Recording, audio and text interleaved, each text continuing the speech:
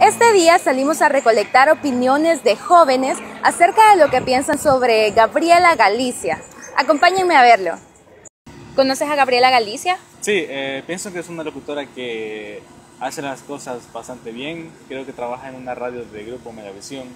Y pues, aunque no le doy demasiado seguimiento a, a, esa radio, pues creo que ella tiene el potencial para, para poder eh, llevar a cabo bastantes proyectos.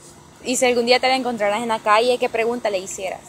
Pues le preguntaría eh, más que todo eh, cómo tener paciencia para ser constante en lo que ella hace y no desilusionarnos cuando las cosas no van bien y pues eso, cómo se ha mantenido durante toda su carrera.